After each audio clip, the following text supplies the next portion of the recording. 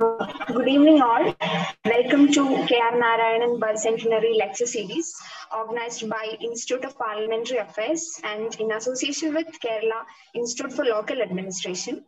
First of all, I invite Dr. Dimpi Divakaran, Director General, Institute of Parliamentary Affairs, for the welcome address. Thank you, Ashiga. Uh, let's start the program. Uh, respected Professor Kishore Mahbubani, Dr. Raju Narayanaswamy, Professor A. Ramakumar, Ambassador Amrita Narayanan, Dr. Joy Elamon, and other dignitaries. Good evening. On the behalf of Institute of Parliamentary Affairs and Kerala Institute of Local Administration, I welcome you all to this program. This is the fourth lecture. This is the fifth and final lecture in the K.R. Narayanan Birth Centenary Lecture Series. The first four lectures were delivered by, respectively by Ambassador Shivshankar Menon, Professor Gopal Guru, Professor Pratap Bhanu Mehta, and Sri N. Today, Professor Kishore Mahbubani would speak on the topic, Can India become stronger than China? Yes, it can. Professor Mahbubani is one of the most respected public intellectuals of our times. He is a Singaporean civil servant, a career diplomat, and an academic. In his 33 years as a Singapore diplomat, Professor Mahbubani took many challenging assignments, serving, for example, in Penh, Cambodia in 1973-74 during the war. He also served two stints as Singapore's ambassador to United Nations. He also held the position of the permanent secretary of the Ministry of Foreign Affairs from 1994 to 98. Professor Mahbubani had equally illustrious career in academia. He, he was appointed the founding dean of the Yew School of Public Policy at National University of Singapore in 2004, which he, he held till 2017. Professor Mahbubani is a prolific writer too. He has published eight books, including Can Asians Think, Beyond the Age of Innocence, Has the West Lost It, etc. The latest book, Has China Won? The Chinese Challenge to American Primacy was published in 2020. Symington W. Smith, in his review in the national interest, mentioned that Has China Won is a must read for leaders, professionals, and students who want painfully real and compelling assessment of the modern US-China relations. His articles have appeared in prestigious publications such as Foreign Affairs, Foreign Policy, Washington Quarterly, Survival, American Interest, National Interest, Time, some etc. Professor Mahbubani has received global recognition for his administrative and intellectual contributions. He was conferred the Public Administration Medal by the government of Singapore in 1998. He listed several times in the list of top global thinkers by Foreign Policy Prospect magazine. In 2009, Professor Mahbubani was elected a member of the American Academy of Arts and Sciences. The citation of the United States Foreign Policy Association Medal he received in 2004 said, a gifted diplomat, a student of history and philosophy, a, pro a provocative writer, and an intuitive thinker. It is a great honor to welcome Professor Kishore Mahbubani. Welcome, sir. Thank you. Dr. Raju Narayanasamy, IAS, is the chair of today's section. He is the Principal Secretary of the Parliamentary Affairs Department, Government of Kerala. Apart from a distinguished civil servant, Dr. Sami is a respected academic and a writer who published more than 150 research papers in national and international journals of repute. He is a recognized PhD guide in many universities. Professor Sami won Kerala Sahitya Akademi Award for his travelogue. He has also won the prestigious Homi Bhabha Fellowship in Cyber Law and awarded 19, to, to 2018 Satyendra Dubey Memorial Award by IIT Kanpur for his professional integrity in upholding human values. With immense respect, I welcome Dr. Raju Narayanasamy to chair this lecture. Professor A. Ramakumar joined this program as discussant. Professor Ramakumar is NABARD chair at School of Development Studies, Tata Institute of Social Sciences, Mumbai. Professor Ramakumar's work on agricultural economics and banking policy is among the most quoted scholarly works in India. He is an expert in development economics, agrarian studies, agricultural economics, physical policy in India, national identity schemes, etc. He is a member of the Planning Board of Kerala since 19, 2016. Welcome, sir. Kerala Institute of Local Administration is the co-organizer of this program co-organizer of this pro program. I am happy to welcome Dr. Joy Elamon, Director General, Matthew Andrews, Assistant Director, and the technical team of the KILA. It is a delight to invite students, researchers, and faculty members to this program. Welcome, friends. There will be a question answer section after the lecture. Please write your questions and comments in the chat box. Once again, warm welcome to all to Dr. Raju Narayanasamy.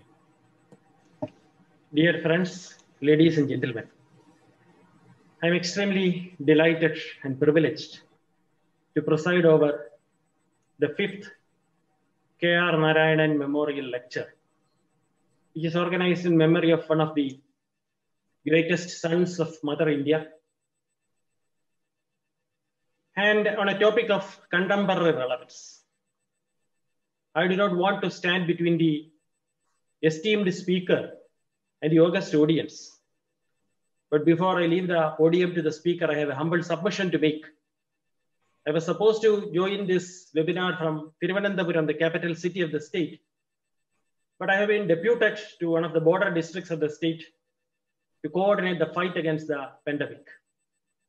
In a situation where there's a need to make a frontal assault on the citadels of COVID-19, which is looming large over the society as a whole, I request I may be permitted to leave a bit early, handing over the chair to Dr. Dimpi Divakaran. My only humble request is that it may not be treated as a disrespect or disregard either to the esteemed speaker or to the audience. So over to the so over to the esteemed speaker, over to Dr. Dimpi Divakaran, please. Professor Mahbubani's speech, let me invite uh, Ambassador Amrita Narayan for a short uh, words, a few words. Good evening, everyone. Uh, it is a pleasure for me to be here. Uh, just a slight correction, uh, Dr. Divakaran. I am the younger sister, so the, not the former ambassador. I am Amrita Narayanan, uh, and I, I, work at the International Criminal Court in the Netherlands. My sister, my sister Chitra, who is the former ambassador, hopefully will be able to join us a little later. But first of all, I would like to thank the Institute of Parliamentary Affairs and the Kerala Institute of Local Administration for organizing this wonderful uh, lecture series in memory and in honor of my father, K.R. Narayanan. I had the opportunity to listen to quite a few of the lectures, and I want to say that it was, they were just fantastic and um, wonderful. And I'm so glad that the Institute has, has, has done this. Um, so I look forward and I welcome uh, Professor Mahbubani, and I look forward to hearing your speech today. And thank you, everyone. Uh, Dr. Raju, Dr. Dimpi, uh, Ambassador Amita, uh, Professor Ramakumar, it's such a great pleasure and honor uh, to be invited to speak in honor of Mr. K.R. Narayanan. Uh, I'm really sorry that I never had the pleasure of meeting him in person. Of course, I've heard of him. Uh, I spent 33 years in the Singapore diplomatic service. So uh, whenever, whenever I was posted overseas, my best friends were often uh, the diplomats from India. And therefore, of course, I heard of Mr.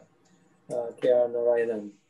And uh, uh, certainly, I'm really glad that this, you're giving me this great honor of delivering the fifth and final lecture in this centenary lecture series. And um, I thought to make it meaningful, uh, why not pick a provocative topic? And the topic I chose was uh, Can India become uh, stronger than China? And so the first question to answer is uh, What do I mean by becoming stronger? Well, quite simple. By stronger, I mean have a bigger economy than China's. And the goal is, this lecture is explain why I believe India can have a bigger economy and indeed can have the biggest economy in the world, and how India can set about achieving it. And I'll, but I'll divide my lecture into three parts, okay? In part one, I'll explain why I'm confident that India can become the, have the largest economy in the world. In part two, I'll explain what I think are two key principles to, that can enable India to become number one. And part three, I'll suggest some maybe three concrete steps that India can take immediately uh, to begin that journey towards becoming the largest economy in the world. But having sort of, in a sense, raised your expectations, let me also say, in all honesty, uh, especially to an audience in India, that some of the things I'm going to say to you will make you feel uncomfortable. But here's the choice. You can say comfortable things and then deal with uncomfortable outcomes. Or maybe you want, maybe it's better to deal with uncomfortable truths and then get comfortable outcomes. So that, uh, that's the approach I'm going to take today. The goal is to see how we can ensure that India has the largest economy in the world. And let me, in part one, explain why I'm confident that India can become number one. The first reason, of course, is historical evidence. As British uh, historian Angus Maddison has documented from the year one to the year 1820, for 1800 of the last 2000 years, the two largest economies of the world were always those of China and India. So what happened in 1820? Well, the British arrived. As Shashi Tharoor, a distinguished uh, citizen or son of Kerala, has documented, when the British arrived, India's share of global GNP in the world was 23%. By the time the British left in 1947, it had gone down to 3%. Today, sadly, the share of India in the global economy is still about 3%. Now, India's share of the global population is 18%. Hence, its share of the global GNP should also be 18%. If you assume that the average Indian is as intelligent and as capable as the average human being uh, in the world. And this is the second reason why I'm very confident that India can have the largest economy in the world because the average Indian is clearly as intelligent and as capable as any other human being. And I hope that this is an uncontroversial statement. But I would like to also add a controversial statement, which is that the average Indian can outperform the average citizens of other communities. And you can see why such a statement is obviously controversial. So let me back it up with some evidence. The most competitive human laboratory in the world is the United States of America. Why is it the most competitive laboratory? Because the best minds, the best brains, the most ambitious people from all over the world find some way to get the United States to succeed. And guess what? You know what's the outcome in the most competitive human laboratory in the world?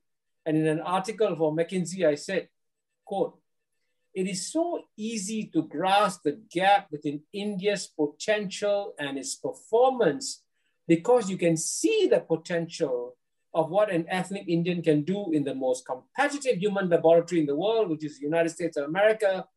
And when the Indians arrived in America, they thought they might be number five or number six in terms of per capita income. The Indians ended up being number one. So today, the average per capita income of the Indian residing in the United States is US $55,000, 298. If Indians in India can achieve the same per capita income as Indians in the United States, the total GNP of India will be around $71 trillion, making it the largest economy in the world, larger than the United States, which only has 21 trillion, or even China, which only has uh, 15 trillion. Now, if this figure is unimaginable, let's imagine that the average Indian in India is half as smart as the average Indian in the US, that India would still have a GNP of uh, US 35 trillion, again, larger than that of the United States of 21 trillion and China at 15 trillion. Why do I highlight all these figures? I do so because I only want to emphasize one big point which I hope you'll take away from this lecture, which is that the country with the biggest gap between its economic potential and its economic performance is India. India's GNP today is about $2.6 trillion. It should be at least 10 or 20 times larger than that, which is today. Now, let me deal with one objection immediately. The argument can be made that it was the super smart Indians that ended up in the US, hence they ended up with the super high per capita incomes. Now, even if I acknowledge that this is true, how about comparing the per capita income of Indians in Indians in India with Indians in other economies? Now, I don't have the data for all the data of all overseas Indian communities, but I travel around the world. I've gone to most of the major countries in the world, and I've seen how successful the Indian communities are all around the world. And there's so much evidence that Indians just thrive and do well. So, why do Indians thrive when they're outside India? Now, the answer could be complex, but let me mention one key factor Indians are naturally competitive economic animals and thrive in economic competition. And in this regard, by the way, they're very similar to the Chinese. And this brings me to the second important point I want to emphasize in my lecture how the economic fortunes of the Chinese turn after the key reformist leader of China, Deng Xiaoping, asked a very simple question. Deng Xiaoping asked the question. He said, why are the Chinese successful in every country in the world, but not in China? And so he came to the obvious answer. The Chinese are succeeding overseas because they're competing economically in every other country in the world, but they're not competing economically in China. So Deng Xiaoping did the obvious thing. He opened up the Chinese economy exposed 1.4 billion Chinese to economic competition around 1980, and you've seen the results. So what are the results? Now in 1980 is a significant year because in 1980, the size of the Chinese economy, which was $191 billion, was almost the same size as the Indian economy, which was $186 billion. Same size, 1980.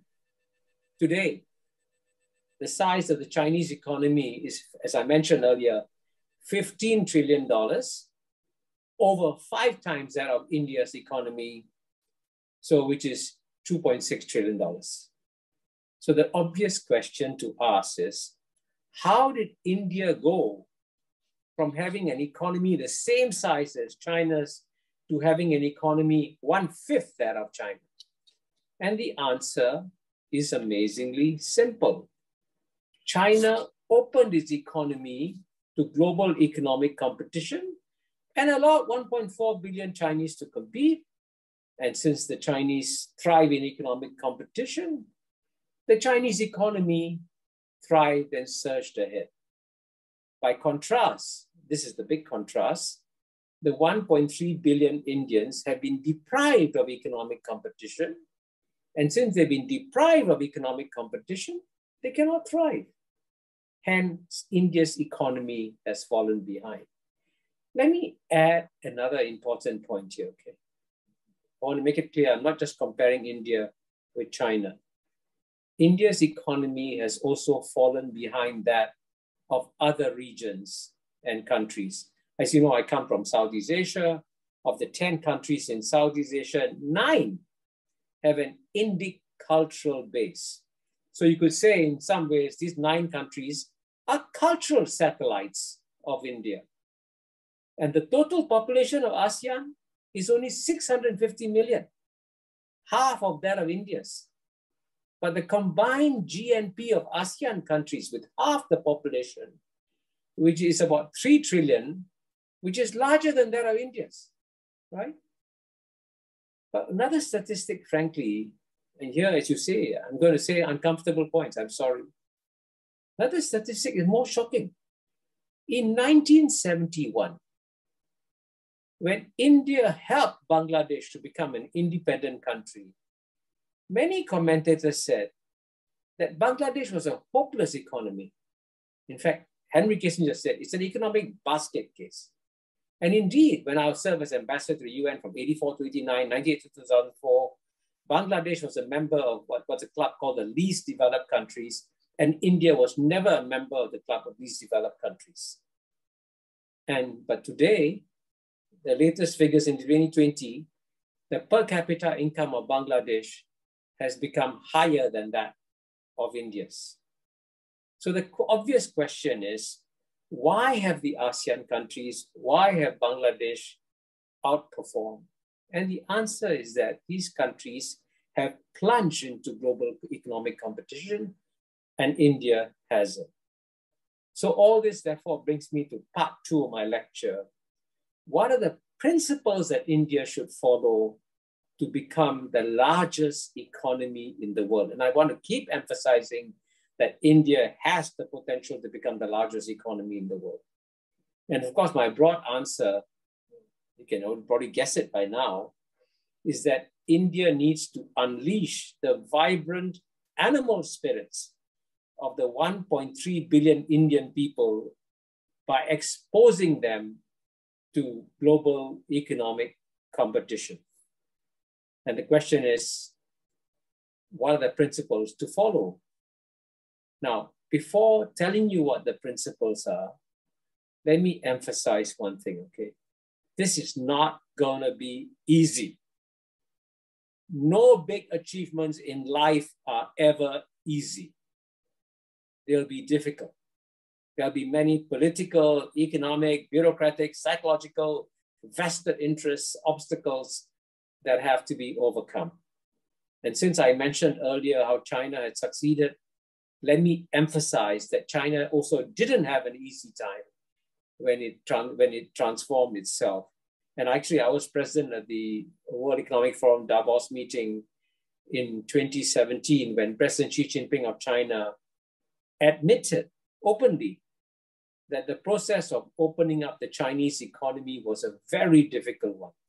And this is what he said, quote, there was a time when China also had doubts about economic globalization and was not sure whether it should join the World Trade Organization. But we came to the conclusion that the integration into the global economy is a historical trend. To grow its economy, China must have the courage, and please listen to this, must have the courage to swim in the vast ocean of the global market.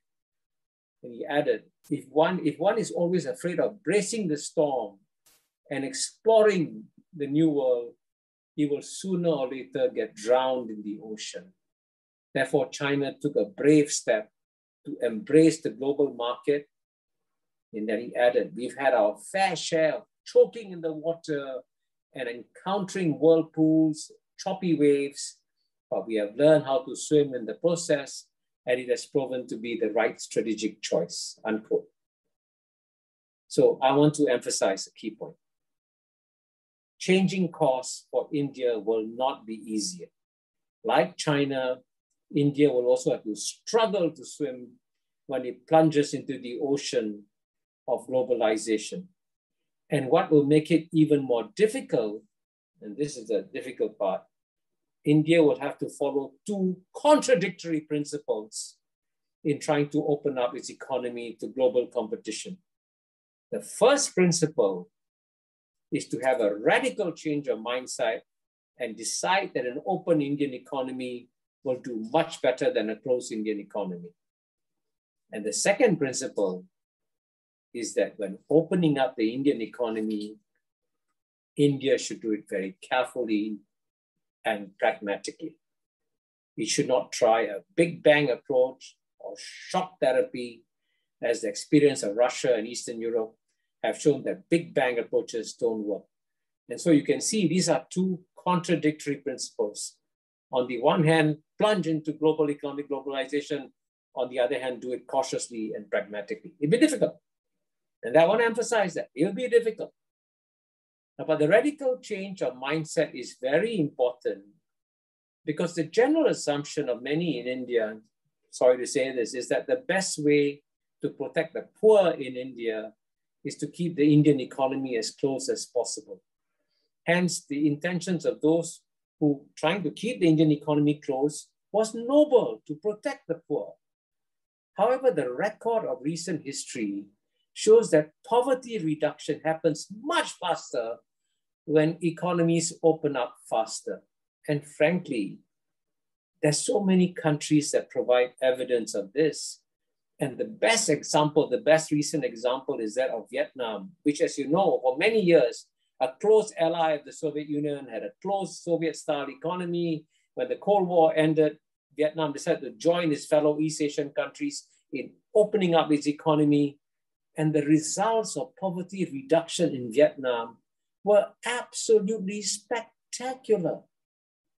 As the then World Bank president, uh, Jim Yong Kim, pointed out, in 2016, Vietnam's average growth rate of nearly 7% over the previous 25 years had enabled the country to leapfrog the middle income status in one generation. And during the same period, Kim noted, Vietnam had managed the especially remarkable achievement of reducing extreme poverty from 50% to just 3%. Let me repeat that.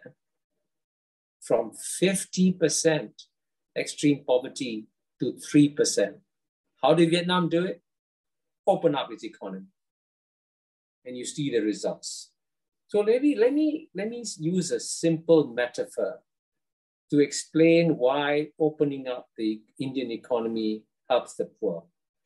The main reason why I emphasize the super performance of Indians overseas is to point out that we should view Indians dif- differently. We should see them as 1.3 million economic tigers poised to perform well. And what's the best way to get tigers to perform well? Keep them in cages or zoos or where they have limited competition and limited room to grow? Or release these tigers into the wild jungle where they can roam freely and become strong and fierce. Now, you know, when you listen to a 45 minute lecture, one hour lecture, a few days later, when you're trying to remember, what is it I remember about the lecture I heard 45 minutes ago? if there's one plea I have to you, just remember this. India is a country of 1.3 billion economic tigers. If you unleash them, you get the largest economy in the world immediately. Now, I'm using this metaphor economic tigers to drive home the essential point that generations of Indian policymakers have made a major mistake by underestimating the ability of Indians to compete. This is why, relative to most East Asian economies, the Indian economy is relatively close. Now, for those who doubt my statement that the Indian economy is relatively close, let me give you some statistics. A relatively open economy trades more with the world a relatively closed economy trades less with the world. And here's the data. China and India have about the same population. Yet China's total trade with the world, 4.5 trillion, is more than five times that of India, which is about 800 billion dollars, 800 billion. So you can see China's GNP is five times India's GNP. China's trade is five times uh, India's trade that's an indicator of openness. But what's even more shocking is that the population of ASEAN, as I said, is half that of India's. The total trade of ASEAN, which is $2.8 trillion, is also more than three times that of India. So clearly, opening up the economy makes a huge difference. So, but let me acknowledge an important point here. When India opens up its economy, there will be creative destruction as pointed out by the famous economist Joseph Schumpeter. But creative destruction is good. it destroys the inefficient parts of the economy and strengthen the efficient parts of the economy. Let me give you an example. Before China joined the World Trade Organization in 2001, the state-owned enterprises made up two-thirds of the Chinese economy. Today, they make up one-third. So half were destroyed, the state-owned enterprises. And that was a good thing because that made China more competitive. And I want to add an important point, uh, just to emphasize one thing. It wasn't easy for China to open up its economy. Just a few days ago, uh, sorry, a few weeks ago, I interviewed uh, the former foreign minister of Singapore, Mr. George Yeo, a very good friend of India. And he says, and I quote, huh? he says, I was in Doha when China was admitted to the WTO in November 2001. There was great celebration. But he said the Chinese at the time felt very bruised by the negotiating process because the US, working in concert with the Europeans and the Japanese, extracted the maximum number of concessions from China. And George Yeo says, I remember later suggesting to China that they should join the Trans Pacific Partnership. And the economic minister of China held out his hands and said, We have given up so much when we open up our economy. Uh, and so we cannot open up anymore. And yet, as a result of opening up China's economy, this is what George Yeo says Chinese economy grew up, grew seven times in PPP terms in 20 years, nine times in renminbi terms, and 11 times in US dollar terms. That's what happens when you open up. Now, since this lecture is named after Mr. K.R. Narayanan, I want to pause and hear and quote a sentence from him. Now, you all may know that one of the most famous things that Mr. K.R. Narayanan did was to write the telegram, that the secret telegram after the Chinese nuclear explosion, which has now been released publicly. And in that memo, he makes a very striking comparison, Mr. K.R. Narayan does, between the economies of China and India. And this he said, he said in the man, secret memo, he said this, is quote, I quote, the left wing of the CPI, Communist Party of India, has already begun to highlight before the people the spectacular progress made by socialist China as compared to capitalist India, unquote. This is a sentence from Mr. K.R. Narayanan's uh, secret lecture, sorry, secret memo. Now, it is true, in 1964, it was absolutely true that India was capitalist and China wasn't. Now, 57 years have passed. Today, China is not just more capitalist than India, China is more capitalist than the United States of America. Now, this is not me saying this. This is uh, Dr. Shan Weijian, he received his PhD in economics from Berkeley. His, by the way, his PhD supervisor was Janet Yellen, who's now the current Treasury Secretary uh, of the US. And this is what I quote from Shan Weijian. Shan Wei says, Americans don't know how capitalist China is. China's rapid economic growth is the result of the embrace of a market, market economy and private enterprise. China is among the most open markets in the world it's the largest trading nation and also the, also the largest recipient of foreign direct investment, surpassing the United States in 2020. The major focus of government expenditure is domestic infrastructure. China now has better highways, rail systems, bridges, and airports than the United States does. Then he adds to the other side, he says, the Chinese don't know how socialist America is with its social security system and its policies to tax the rich by collecting capital, capital gains taxes. China is still in the process of building a social safety net that is largely undefined and underfunded. It has no tax on personal capital gains. And so in 2020, China had more billionaires than the US did, and it outpaces the US three to one in minting billionaires. So that's interesting. In 1964, Mr. K.R. Narayan said that India was capitalist, China was socialist. 57 years later, China is now more capitalist than the United States of America. That's how the world has changed. And this is also explains, by the way, why it is almost inevitable that China will overtake the US and become the number one economy in the world within 10 years. But it also explains how India can overtake both China and the United States and become the number one economy in 20 to 30 years. It should open up its economy, trade more with the rest of the world, and allow, frankly, more creative destruction to take place within the inefficient sectors. Hence, the theoretical direction that India should take to make its economy stronger is very clear. However, as I indicated earlier, while I advocate one principle of big fundamental changes, the second principle is that when you apply this theory, practice, you've got to be very cautious. And we saw what happened to Russia and the East European economies when they thought they were doing the right thing by opening up their economies with a big bang. And sadly, many of them suffered very badly. So I'm going to mention this. I won't go into great detail, uh, but you should know that in opening up an economy, you got to do it slowly and carefully. And in some ways, that's also what uh, China did because they heeded the advice of Deng Xiaoping, who said, who advised that India should grow, who grow, advised that China should grope for stones to cross the river steadily. You, therefore, you, when you make the transition, do it slowly, carefully. But at the same time, you can also do it with some concrete steps. So all this brings me to part three of my uh, remarks and talk about a few concrete steps.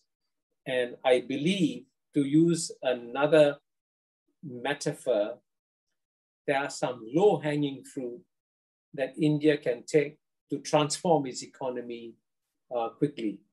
Of course, there'll be risks huh, with anything I suggest. Anything I suggest has risk. If it doesn't have risk, what difference will it make? It must have risk. It must be difficult.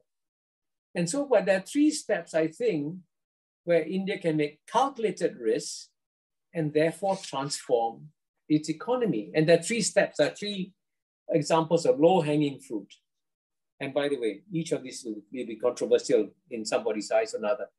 And the first step, in my view, is the easy one. Join the Regional Comprehensive Economic Partnership, RCEP, immediately.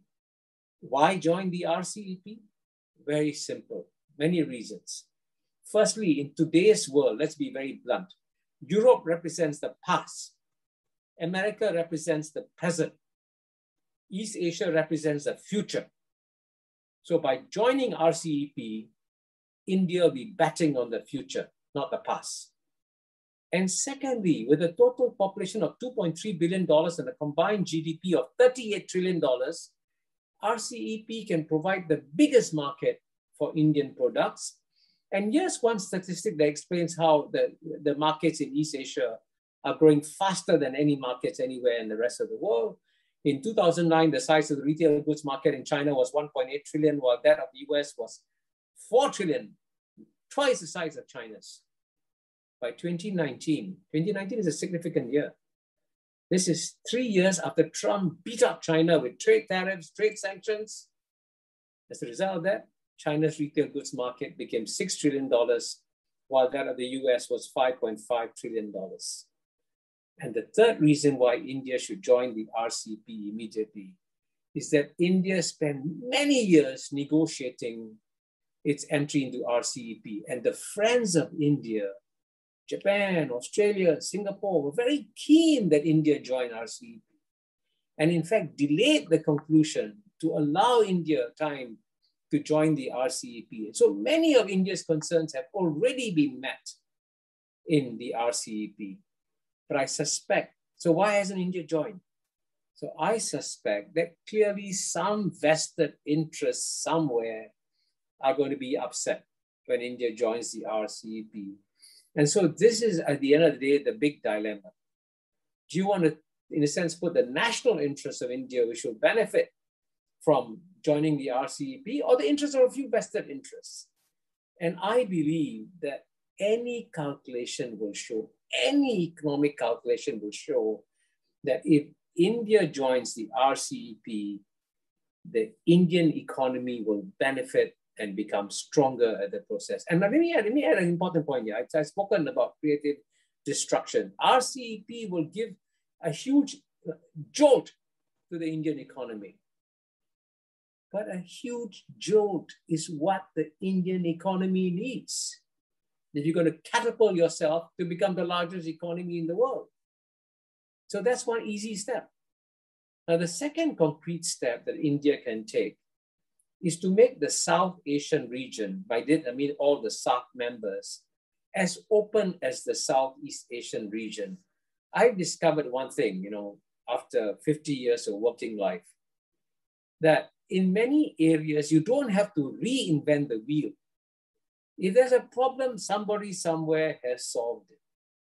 And, and frankly, the best way for any, any way for any economy to grow is to open its economy to its neighbors. And just look at the European Union, look at NAFTA. So all that South, South, South Asia can do is to open up its economy. It doesn't have to be op as open as the European Union. It doesn't have to be as open as NAFTA, but it can be as open as ASEAN. So and so all that South Asia has to do, frankly, is very easy. Pick up a copy of the ASEAN Free Trade Area Agreement and just replicate it. That's all. Just replicate it. And then boom, trade will grow. Now, let me add an important point here. I'm not politically naive.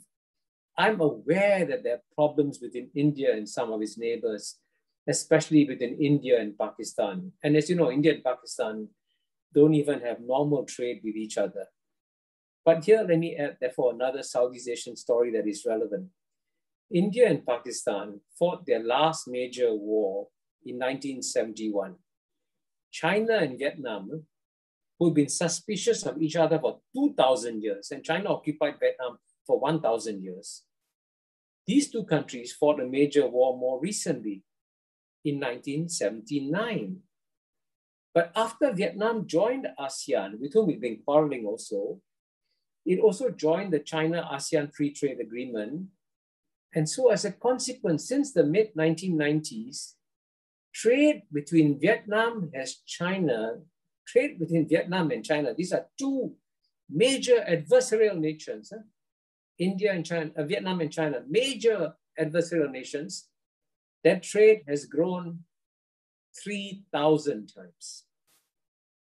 And who benefits from this increased trade? Now you know why Vietnam had the most successful poverty reduction program when trade grows 3,000 times. And you can trade with your adversaries too. And the poor people anywhere in South Asia would benefit from an explosion of trade.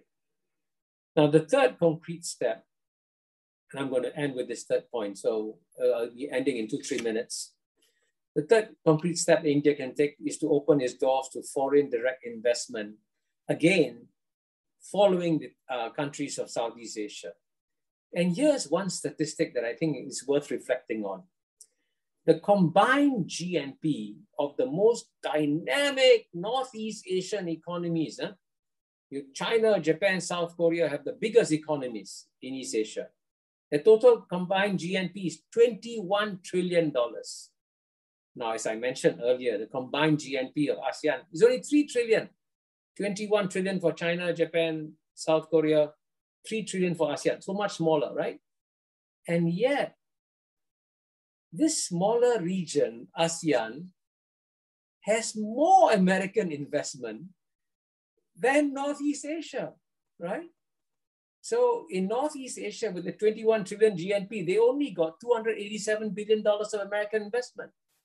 Southeast Asia has had $335 billion of American investment. The poorer region got more investment. So therefore, South Asia can also get it. Now, and here, let me add an important geopolitical point here. You all know that a major geopolitical contest has broken out between US and China, and I documented in my book, Has China Won, which you see behind my shoulder. It is a fact that many American manufacturers are looking for something which is called a China plus one destination. They, they will invest in China, but they don't want to invest. They don't put all their eggs in China. They want looking for someplace else to put their eggs. And obviously, many of these American investors want to invest in India. But unfortunately, as soon as they arrive in India, they encounter Indian bureaucracy and they get discouraged. So this is my simple suggestion. Many of the Southeast Asian economies, uh, Indonesia, Vietnam, Malaysia, Thailand, went from being closed to becoming open. So they all developed investment brochures, investment rules. All that, all that South Asian countries, including India, have to do is just copy them, copy these investment brochures. And that, that there's a tremendous desire to invest in India today. And, and if all India has to do is open the doors and the investment will come. So you can see my conclusion, therefore, is that it will not take rocket science to make India's economy the largest in the world and larger even than that of China and the US. It will only take, basically, what I'm sharing with you is simple common sense. There's no need to invent anything new. For a start, India can learn from the Southeast Asian countries, whom I explained, as I said earlier, have had relations with India for 2,000 years. And, and so to conclude, let me quote what Prime Minister Manmohan Singh said. He called on India to look east. Prime Minister Narendra Modi called on India to act east. My message is a much simpler one. Please come to Southeast Asia and learn from the East, and then India will have the largest economy in the world. Thank you.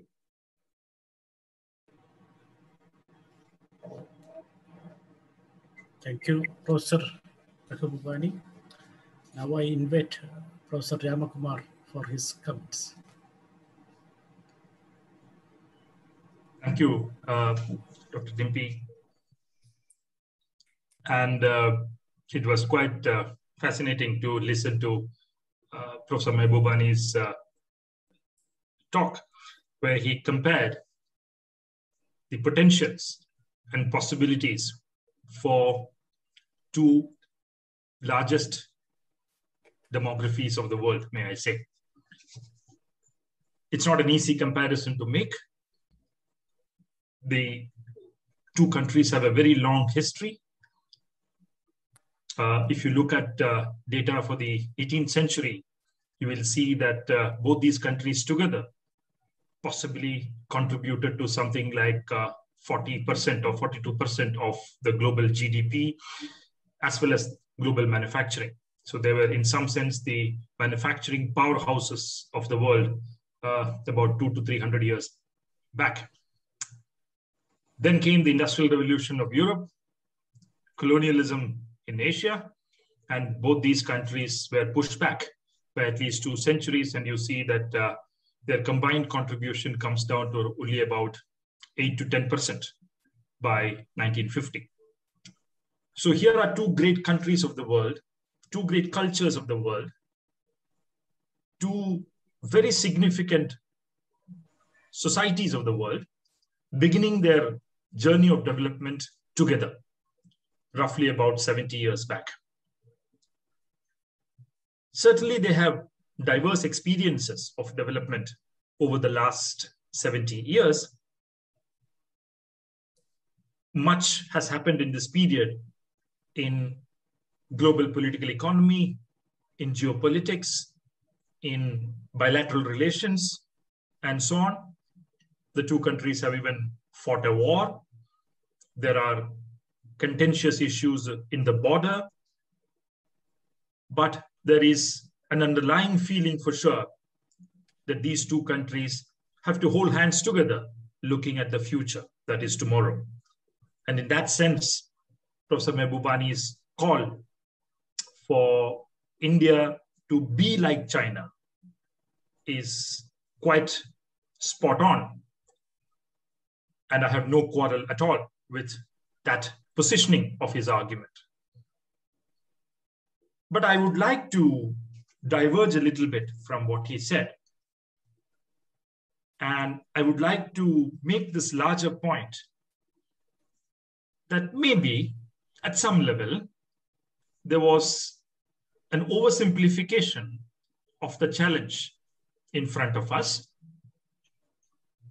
And it appeared to me that Professor Mahbubani was suggesting that a simple open trade policy or a simple free market regime would actually take India to where China is now.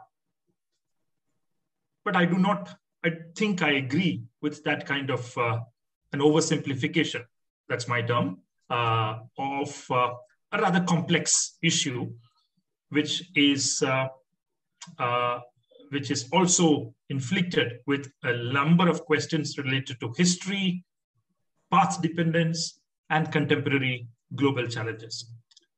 What am I trying to say? If you look at the Chinese and Indian paths of development after 1948 or 47, you will see that there is a slow divergence between the two countries. Say, if you take per capita income as an indicator, till about 1978. And after 1978, you will see that there is a very sharp divergence. What was a slow divergence becomes a very sharp divergence between China and India in terms of per capita income as the overarching indicator. Let's begin with the slow divergence point because history is important. This period covers uh, the 50s, 60s, and 70s, or about three decades of very important time uh, for these two countries in the initial stages. What did China do in these initial 30 years or so? It made very important interventions, which were historic in some sense, in the fields of, and I'm not, I'm not going to list out all, I'm going to have very short time, so I'm going to uh, summarize things a little bit uh, here.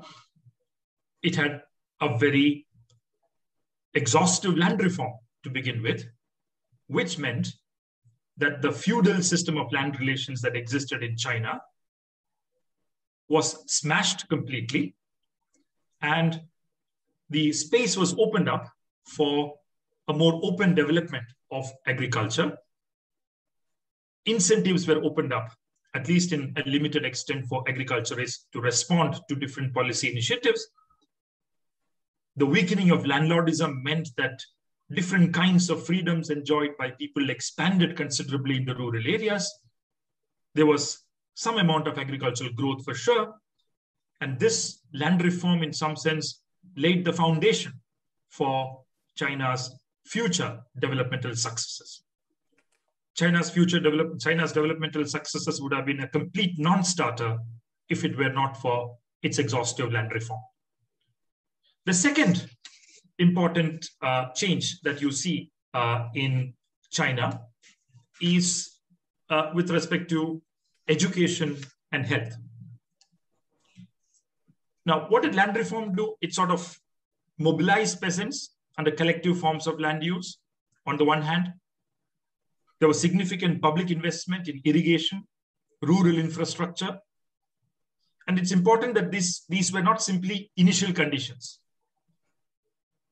One of the major achievements of this policy was to evolve over time a system of farm management that sought to ensure a rational use of labor, natural resources, and capital, as well as share risks. And that was very important. Come to education and health. Average life expectancy in, uh, in China rose from close to 40 years in 1949 to about 65 years in 1978. Uh, primary health healthcare became widely accessible in this period, especially for mothers and children in rural areas. Infant mortality fell from close to about 250 per thousand in 1950 to about 40 to 50 per thousand in 1980. Literacy rates expanded uh, considerably. Primary school enrollment rose considerably. It was already 90% uh, in a few, a few decades. So all these meant that in terms of land reform, education, health, and creation of large infrastructure, China made phenomenal advances in the first 30 years, which laid a concrete foundation for its future development success. What did India do?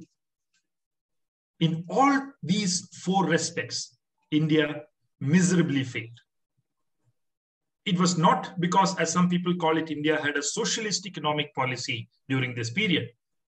India neither had a socialist economic policy nor had a capitalist economic policy during this time. It had a very strange mix of a, of a mixed economy, but one in which it failed to contain landlordism in rural areas. It failed to expand education. Even today, even today, only about 75% of the Indian population can read and write. Uh, you have a complete a, a health system which is in shambles. COVID has exposed it uh, so well. You have 60% of the Indian women who are anemic.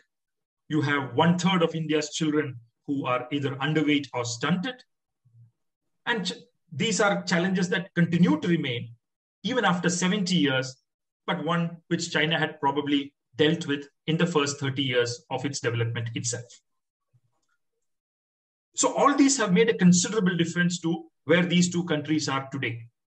And I think these are aspects which, unfortunately, Professor Mahbubani did not mention in his uh, uh, very interesting speech.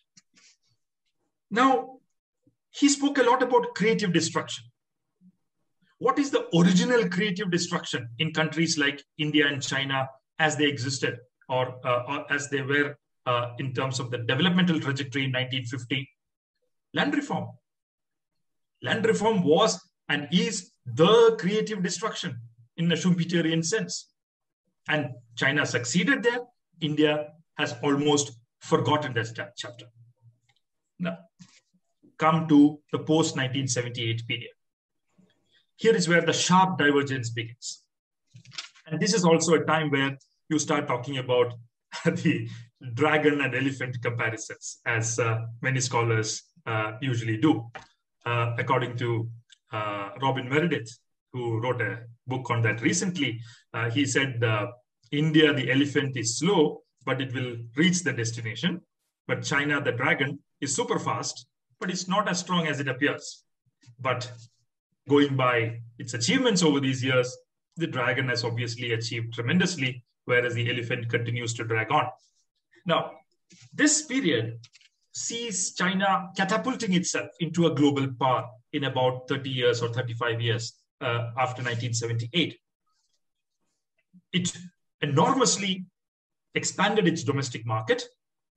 It enormously expanded domestic consumption. If domestic consumption grew by 7 to 8% in China during this time, in India, it was growing only at about 2% or so in this, in this time. And it enormously increased gross capital formation as a share of the GDP. Its savings rate touched very close to 40%. Its banking system expanded enormously. And the four modernizations stand apart the modernization of agriculture, of industry, of science, and of technology. No doubt about it. I'm not talking about defense here, which is another modernization, but I'm not dealing with that at this point of time.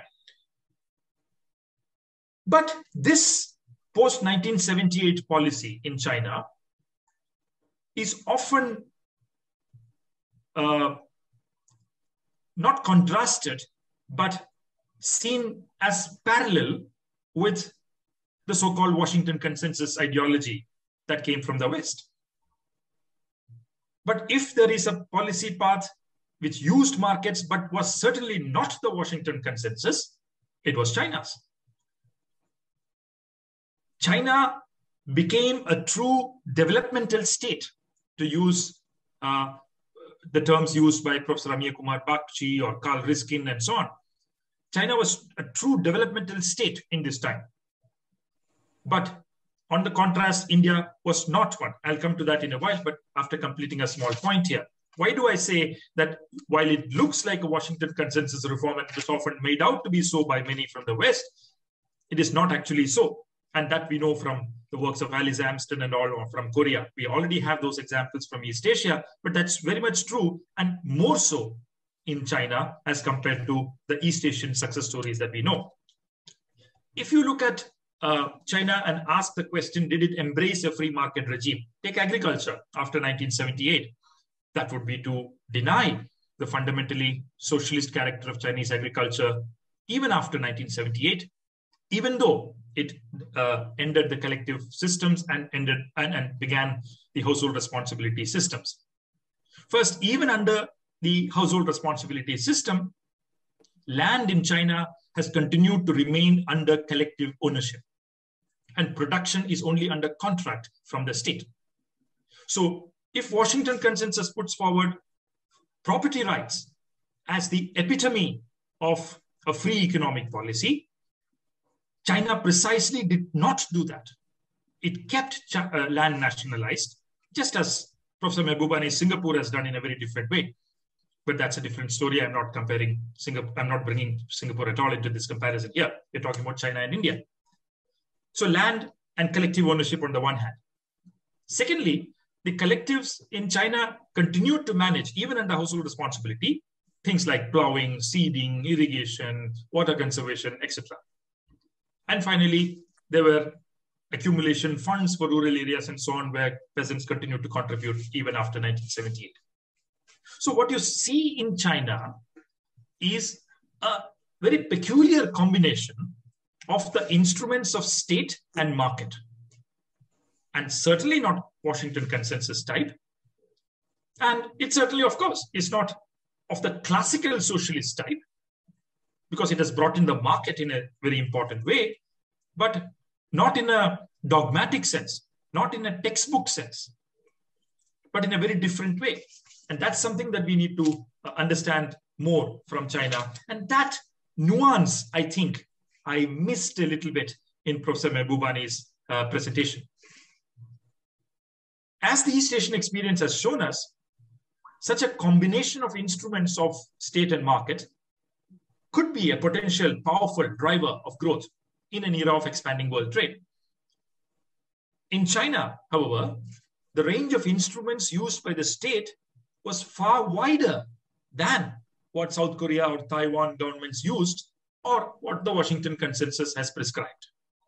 So the new regime in China, that's my point, was thus erected on the shoulders of the old and represented a distinctive symbiosis of the old and the new, the state and the market, the pre 1978 and post 1978. And that characterization, that symbiosis, is very important to grasp with all the differences and nuances if we want to understand China in a real sense. That's the other point I wanted to make. Markets have been there, but they have been very strictly and powerfully regulated. And this is what has allowed China to successfully complete the so called structural transformation, which India is continuing to grapple with even after 70 years. This is how a true developmental state has became a reality of public policy in China, whereas in contrast in India, because you, you did none of the things that a typical developmental state is supposed to do, you had this process of developmental state formation as more half-hearted, fragmented, inadequate, incomplete, weak, and so on. Political scientists have called it as India being a soft state and so on. I'm not getting into those uh, uh, funky terms at this point of time, but certainly the process of developmental state formation was weak and inadequate. Economic reforms came in India after 1991, but here again, you basically see it threw the baby out with the bathwater. It withdrew the state completely from very critical spheres of the economy, strategic spheres of the economy, and it basically opened everything to the market. In fact, many like uh, Atul Kohli, the political scientist, would argue that Indian policies were not even market friendly, were actually business friendly. And there's a clear difference between what is market friendly and what is business friendly, because business friendly means more of cronyism in the way capitalism uh, evolves in your society and economy. You have over the last 10 years, if you see, everything that is central to the economy breaking down in India. Investment rate is collapsing. Uh, so basically, you have a sharp fall of investment rate, savings rate, exports, bank credit, employment, etc. On the one hand, China is trying to has already succeeded in eliminating chronic poverty, while India uh, continues to be home to 33% of the world's extreme poor, and uh, one fourth of its population is certainly poor by any standard counter examples that are there in India. That's where I want to bring in the state which is hosting you today, Kerala. This is the counter example to the Indian developmental path, which began with land reform, whose educational and health indicators are comparable to Scandinavian countries today, and which has brought about enormous amount of community involvement in the process of development through uh, unleashing the powers of cooperation through unleashing the powers of people-centric uh, panchayat level planning and so on, you have a you have an alternative which uh, the state of Kerala appears to have shown to the uh, country where on what actually a developmental state is supposed to do and what its potentials and possibilities might actually be. Now, so this is the point that I wanted to uh, make. Uh, broadly, uh, opening up of the economy in India is, is, is fine, but does India have the competitiveness or is it ready for that kind of opening up? Does it have the education, the skill, the kind of healthy workforce, etc., which is actually a fundamental necessity for maintaining competitiveness in an open economy? Does it have a concrete social security system uh, to help and support the poor who might fall back in such a circumstance of opening up? The answer to all of this is very uh, clear, unambiguous no. And that is why there is enormous resistance in India to uh, treaties like RCEP. It is, I've seen uh, that you, you mentioned that it's sometimes the Indian rich who is actually resisting RCEP. But don't forget that uh, we have a very large uh, uh, workforce in the dairy sector, small farmers who own two cows, three cows per house, household, etc., who were the vanguard of resistance against RCEP because they felt that uh, the imports of skim milk powder and milk from uh, New Zealand and Australia might actually destroy their very fragile livelihoods, which are already in great crisis. So the resistance to RCEP is not from the Indian rich. Maybe it is from Indian, Indian rich because they're scared of Chinese imports. I'm, I agree. But it is not just from them. It is certainly also from India's poor. And an example of that is uh, the millions of dairy farmers across the country uh, who have been the vanguard of that opposition. That's the point I wanted to make, uh, Professor Mahbubani. I didn't want to be as provocative as you were. Uh, it was lovely uh, listening to you. Uh, it was a very, very, very meticulously argued point, but I somehow felt that some of the nuances of history, some of the necessities in developmental processes that are fundamental to backward countries uh, like India and China from the 1950s onwards were possibly, uh, probably missed out in the presentation. I just wanted to uh, bring that to the attention of the audience here. I look forward to the discussion with you. Thank you so much. Professor Mahbubani. Oh, thank you. Thank you. I must say, I'm very impressed by uh, Professor Ramakumar, I did not give him an advanced copy of my speech, but he was able to respond uh, so clearly and so eloquently uh, to many of my points. And I uh, appreciate that very much. And, and, and I actually agreed with uh, some of the key points you made.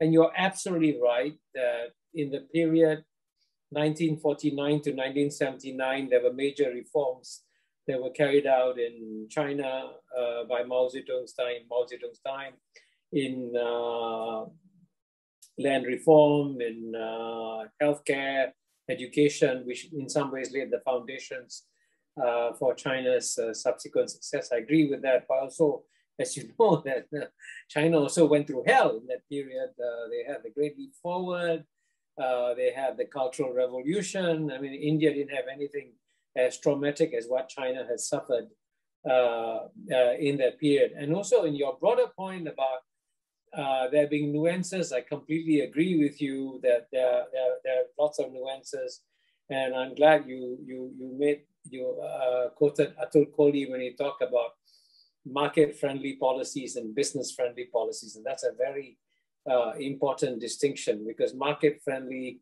policies actually help all of society. Business-friendly may actually help me help some segments of uh, society, but but having said all that even if you want to set aside and say, okay, okay, China, we cannot compete with, surely Southeast Asia, surely you can get a per capita income higher than Bangladesh, surely. And, and, and if you can't even do that, if you fall behind Bangladesh, then frankly, there are some fundamental policies that are wrong in that uh, society. And if you can't even get as much foreign investment as uh, the ASEAN countries. And you know, the ASEAN countries, I can tell you, by the way, you want to add nuance? You want to understand how difficult situations these are in these, these countries are in? I mean, they started off from a much lower base than India did, by the way, you know. So they're starting off from a much lower base. They overtook India. So look at that nuance also. Why is it countries that had bigger disadvantages than India overtook India and succeeded? And, and I would say this is where I want to emphasize. You can add all the nuance you want, but that's the most important variable is absolutely undeniable. The more you open up your economy to global competition, the better you do. The more you close your country to global competition, the worse you do. And there's, there's absolute, absolute correlation. And by the way, I would say, please stop referring to the Washington consensus. The Washington consensus should be actually be buried and killed. You know, it's it's rubbish basically. It's all it's all a ton of rubbish that was created by American economists, and it didn't work because I can tell you something. Americans can create a very successful economy in the United States of America, but you ask the Americans to run any other country in the world, you'll screw it up. Exhibit A, Afghanistan. How do you spend $2 trillion, okay? $2 trillion now. That's almost the size of India's GNP on one country and burn it and waste it all. That, that's all the Washington consensus stuff, okay?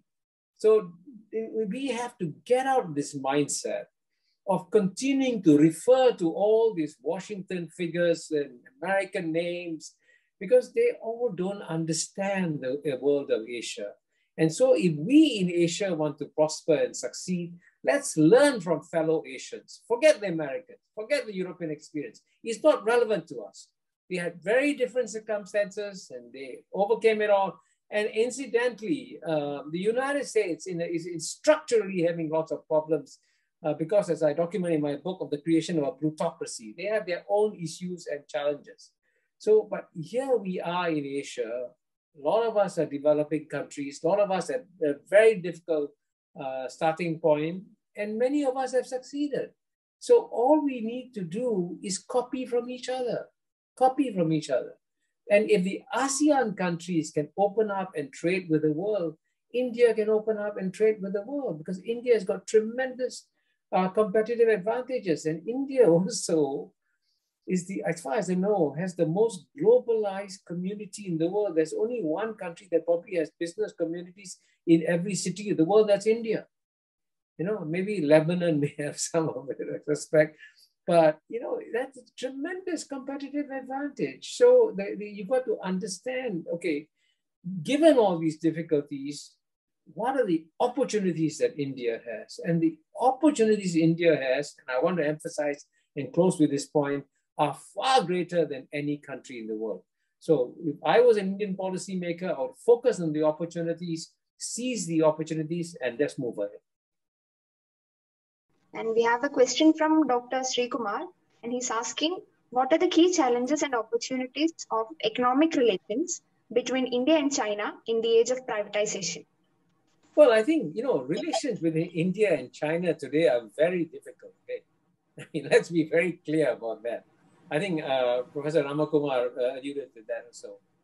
So it, it, the relations are very difficult, and, and that's why I, I, I frankly don't think that uh, uh collaboration between China and India is the answer to India's uh, uh, challenges and opportunities. There are many other countries that, that, that India can collaborate with, and I would say the first source of growth for any country is its immediate neighborhood. And I've seen some studies that show that all you have to do is just create normal trading relations between India and Pakistan. No, nothing special, just normal, normal, normal trading relations. Pakistan GNP will go up 2 3%, India's GNP will go up 1%, something like that. I mean, it's something basic as that. And similarly, I mean, look at ASEAN and, and, and Southeast Asia, okay? Uh, look at the trade. You know, uh, in the year 2000, let me give you one statistic. China's trade with Southeast Asia was $40 billion. And United States trade with Southeast Asia was $130 billion, three times that of China uh, and ASEAN. By 2020, 20 years later, US trade with ASEAN went up three times to uh, three, over $300 billion, right? And uh, uh, China's trade with ASEAN went to over $600 billion. So, I mean, you're talking about spectacular increases in trade. And so, we, you know, so, you know, in many ways, if India can collaborate with its own neighborhood, if India can collaborate with Southeast Asia, and frankly also with the Middle East, you can you can grow your economy. So there are opportunities out there. But I would say, given the political difficulties today between China and India, I don't see much uh, opportunities for collaboration between China and India until and unless we can overcome the present difficult period. Sir, uh, Gaurav Kumar is asking, how can India transform from a reluctant socialism to a developmental capitalism? And also he's asking, how can India hide and bide till its emergence to an economic preeminence? well, two very challenging questions. You know, I find, frankly, that labels like socialism, capitalism, all frankly have become less and less useful. As I, as I told you, I quoted in great detail what Dr. Shan Weijian said. And the paradox is that China is supposed to be socialist, uh, America is supposed to be capitalist, but as I gave you in the data in my speech, China today is in many ways more capitalist than the United States is, which is a, a paradox. So don't set aside the labels and focus on the concrete things that need to be done to rejuvenate and strengthen uh, the Indian economy. So, for example, right, let me just give you a simple, concrete example. There are so many American investors who want to come and invest in India. I know this. I've spoken to some of them. They want to come and invest in India. And what's the problem? Bureaucratic obstacles. And, and the point is, these, these, these same American investors, they go to Thailand, they go to Vietnam, they go to Malaysia, they go to Indonesia, and they find ways and means of investing but they can't overcome the bureaucratic obstacles in India. So, you know, this is this this is why I want to go back to my key image that India is a country of 1.3 billion economic tigers. These tigers can really perform very well, but you got to get rid of the bureaucratic obstacles that are standing in their way. And one of the bureaucratic obstacles standing in the way is, of course, the obstacles of foreign investment uh, in India, and, and that can be removed. So think about what can be removed to actually get India more integrated with the global economy. And that should be the target. And India should definitely try to achieve at least the level of global trade that Southeast Asia has achieved uh, with the rest of the world. That can be done. Now, on the hide and bide issue, that that's that was something that was the, the in case anyone is asking, wants to know what is hide and bide. Hide and bide refers to the foreign policy of Deng Xiaoping when he opened up China's economy. He said, we now, in the next uh, 20, 20 30 years, focus on our economic development and therefore don't get involved in any foreign policy disputes at all. And in fact, he added, he said, China should swallow bitter humiliation, accept all the insults, don't get involved in struggles, just focus on economic development. Now, that, that's, that's easier for China to do because China, as you know, is run by the Communist Party of China. India is the world's largest democracy. The world's largest democracy, you cannot hide and bide. If any politician doesn't respond to any insult from outside, he'll be attacked in the Indian parliament. So it's much harder for India to carry out any hide and bide because in the Indian parliament, in the Indian media, everything will come out. But having said that, I also want to add that I think Indian uh, media should be a bit more responsible uh, in the way that it reports and covers uh, the rest of the world. The Indian press coverage on, on, on, on China and, and, in fact, in other countries can be quite atrocious. Uh, and it's important to have a certain degree of rationality and objectivity uh, in dealing uh, with the rest of the world. So you, you cannot go the full spring all the way of hide and bide, but you can at least try to be a bit more careful in managing relations with all with all the countries, including all the neighbors. And also, frankly, if the Southeast Asian Southeast Asia is by far the most diverse corner of planet Earth. Out of 650 million people, you have 250 million Muslims, 150 million Christians, 150 million Buddhists, Mahayana Buddhists, Hinayana Buddhists, you have Taoists, Confucianists, Hindus, communists, this diverse region of the planet Earth is, is at peace. So why can't South Asia, which is far less diverse than Southeast Asia, Why can't you just be as peaceful as ASEAN? You can be done. So this is the these are the areas where I think it's very important for South Asia to learn from Southeast Asia and therefore create a more peaceful and prosperous environment for its people. Sir, Pramod Dev is asking, like, should we go for a regional integration model or a global integration model of opening up to the world? And is there still a scope for global integration of this kind offered by WTO, given the opposition to WTO by countries like USA? Uh, yeah. Maybe there is a question on uh, cultural homogenization, which you might be able to, uh, you might want to pick up and say something, uh, because that's a very different question. And, and, and uh, she says, my question is whether uh, Chinese government's policies on cultural homogenization to facilitate uh, economic development is a reason behind its success. Uh, basically, uh, I think she's referring to uh, the whole question of Uyghurs and the other questions that are in discussion very much with respect to China. No, no, I think both both are. let me let me answer both of them: cultural homogenization as well about regional integration versus global integration. And I want to emphasize one point that regional integration and global integration are not uh, contradictory. you can have regional integration and you can have global integration, and both can go hand in hand. And, and it's very easy to, to look at the benchmarks, okay? You know, there, there, there are various benchmarks around the world Clearly, the most regionally integrated in the world is uh, region in the world is the European Union. Now, it will take us a long time to get to where the European Union is. Okay, they allow free movement of people across borders and so on and so forth. We won't get there. So that's not that's not used as a benchmark. But if you look at what Southeast Asia has done, and and uh, how it is the regional integration it has done, the amount of trade that is increased, that's a level that uh, India can get can get to. And at the same time, on the, on the WTO and the United States of America, it's true that the United States has changed its attitudes towards the WTO. But I think to be fair, the United States still remains one of the most open economies in the world. Okay, let's be very clear about that. Overall, the United States economy is still far more open than the Chinese economy. Let's be very clear about that. So the United States is, is really, for all its issues, is very open uh, global economy and, and, and, and, and, and, and it will not, in, in sense, while it has concerns about some aspects of the WTO, it's not going to turn the clock and, and, and reverse global trade. So that I would say is not an issue for India. India can succeed in both these areas.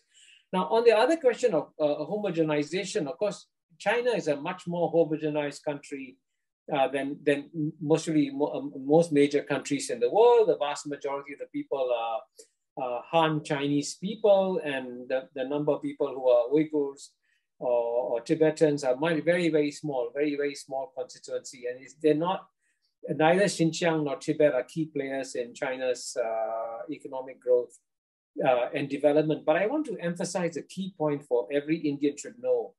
If you look at the past, even 2000 years of Chinese history, China has been divided more often than it has been united. In fact, keeping China together as one country every day is an achievement. It's a huge country. Similarly, it's a huge achievement to keep India together every day, 1.3 billion people too. So, so it, China does have some major domestic challenges. It is not as though the, the, the path for China's success was easy just because it's culturally homogenized. Not at all. And in fact, there were always regional tensions, difficulties, and so on and so forth. So at the end of the day, uh, it's it, the, you've got to ask yourself, what are the critical variables that explain China's success in the world? And I can tell you that the Chinese themselves were very frightened of globalization, very frightened. They did it very hesitantly. But once they plunged in and they succeeded, now the cultural confidence in China has exploded. Now, in the same way, I believe that if India plunges into globalization and succeeds, the cultural confidence in India will also explode And cultural confidence is such a key indicator of economic success that people haven't talked about. And this is where, frankly, let me come back to my very, very first point I started off with. Just look at the success of Indians in every other economy in the world. Use that as the benchmark. And if, if Indians in India can be as successful as overseas Indians, India will have the largest economy in the world. Okay, thank you, Professor Mahbubani. Now I invite Dr. Joy Elamon for vote of thanks. Thank you, Dr. Dimpi. Dimpi. Uh, respected dignitary, dignitaries and dear friends, uh, it has been a privilege as far as KILA is concerned to be part of this uh, five lecture series uh, in memory of uh, Dr. K. Narayan. And uh, at this moment, actually, I was, for today's session, I was actually looking at the cover of the book, Has China Won? I, I, can see still see that behind you, sir, and uh, the Chinese challenge to the American primacy, which you have written. And then we have this uh, program, Can India become stronger than China? Actually, are we ready for such a challenge this side?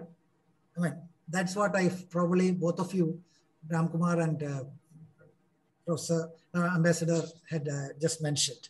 So we had actually discussed about the potentials, the possibilities and all, but as we all know, this entire governance and political models have to be analyzed and then see whether we can really realistically talk about raising this challenge. So let's uh, actually start thinking about that also. But uh, this opens a lot of questions uh, for all of us actually. So I don't want to get into all those discussions once again. Um, uh, basically, for today's session, definitely uh, on behalf of the Institute of Parliamentary Affairs and KILA, uh, we extend our sincere gratitude to Ambassador Kishore Mahbubani for being with us and very patiently answering various questions. In fact, even at the last moment, when Dr. Dimpi has been again and again asking one more question, one more question kind of thing. And then finally, Dr. Ramkumar intervenes and says, why don't you answer the other question also? And then, and, and, and the, the way in which you reacted also was uh, very pleasing for all of us. Thank you very much, sir, for being with us and for this excellent lecture we had. And uh, Madam Amrita and Madam Chitra who were with us, and they were with us for many of the other lectures, lectures also. Uh, thanks to both of them and uh, Professor Ramkumar. He's part and parcel of all these things which we do here, whether it's at the Institute of Parliamentary Affairs or with KILA or with so many other things happening in Kerala and India, especially on this side. So, but again, uh, thank you for being with us and also for the right interventions and right responses at this point of time. Uh, getting things into perspective, that is what you have done. So thank you, Dr. Ramkumar. And uh, Dr. Raju Narayanaswamy, who's the principal secretary of and also the he heading this Institute of Parliamentary Affairs. Thank you, sir, for being with us, even though you have been uh, you have been in Idukki uh, overseeing the code prevention activities. Thank you, sir, for being with us. Of course, uh, I mean, I don't have enough words to thank uh, Dr. Dimpi for getting us into this whole thing because it has been a really great thing for KILA to be part of all these intellectual and uh, political exercises which we do here. So thank you for, uh, in fact, I have to tell all others that it's simply Dr. Dimpi, Dr. Work. And uh, we are only with him, that is all, nothing else. Everything has been planned and done. But all the networking, all the contacts, everything has been done by him. Thank you, Dr. Dimpi, for being with us. And uh, all the earlier speakers, or the this is the last one, the fifth one of the, the series, and all the earlier speakers, the great uh, lectures we had. Thank you. Thank all of them for being with us and for delivering the lectures. Of course, the participants. See, I mean, I never thought that we would have such kind of people and all youngsters uh, being with us throughout and also asking I mean, questions, uh, relevant questions at the right moment. And uh, that's again, I mean, that's actually gives us confidence to venture into such activities again and again. Thank you all, all the participants for being with us. And finally, the Institute of Parliamentary Affairs team, not a great big team, large team, but still, I mean, yeah, that small team which does all these things. Thanks to all of them. And uh, finally, my colleagues in KILA, especially Mr. Matthew Andrews, Andrews, the assistant director, Mr. Nivesh, who manages the technical aspects, and Anoop, who have been with us for all these lecture series, lectures. Thank you all, and thank you once again. Thank you. Dr. Joy, Thank you, uh, sir. let's all join Thank you, hands Kishore, sir. and uh, extend an invitation to Professor Kishore Mahbubani to visit Kerala so that he can see what we are doing in Kerala as well. I'm sure KILA can host him. Yeah, yeah, definitely, I'm, definitely. I'm sir. coming. I'm coming. Thank you, sir. Once all this Thank pandemic sir. business is over, we As soon as COVID is over, I'm coming to Kerala. yeah, yeah. Okay, thank you. Okay, okay. Thank you. Thank you, sir. everyone. Thank you. Thank you, sir.